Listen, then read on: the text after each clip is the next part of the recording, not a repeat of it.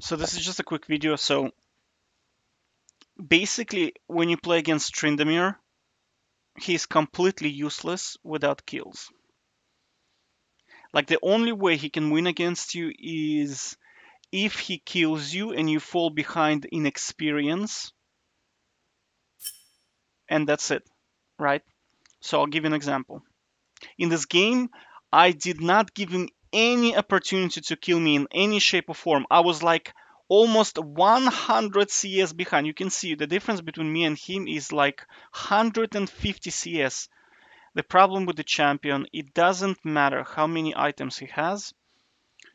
I mean, like, you see, like, he is the strongest, second strongest person on the map, and he was invisible for the whole game. Invisible.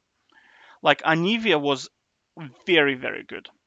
This guy was dominating, right? And I was just like crushing it because I have a scaling champion. And it doesn't matter, even if I'm 5,000 gold behind. After 30 minutes, dude, you're not gonna beat um, Nasus with a Tryndamere. It's just, it's not gonna happen. He was in, in, he just could not do anything against me, right? So I'll show you, right, how I played. It was very, very simple. Now he also took ignite. Remember, I have TP, so he has a disadvantage. He cannot be, um, he cannot come to objectives as fast as I can. It's very, very easy to counter Tryndamere. Very easy. That's why I don't play him anymore. Like I used to play him, but I don't play him anymore. But look, I'll show you. I'll show you the difference. Look.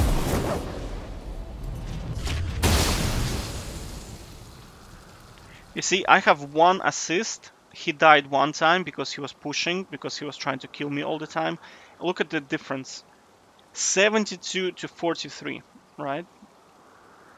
Look at the gold difference. But do you see, do you see 500 gold? How will 500 gold help Tryndamere against Nasus?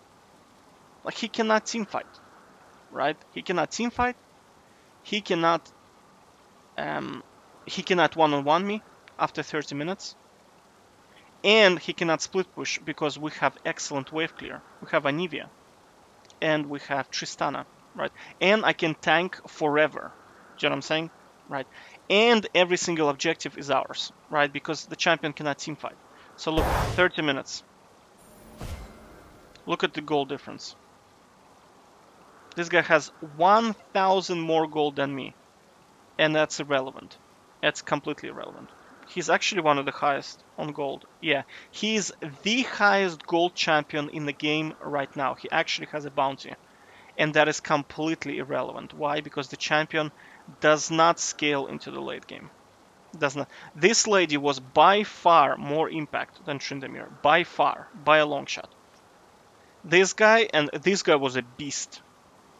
Like, Brand on half gold is more efficient more useful than Tryndamere on twice gold. This guy was doing crazy damage. I'm talking about crazy, crazy, crazy damage. I even had to build a lot of defensive items. So, I mean, this guy was just doing crazy damage. Okay?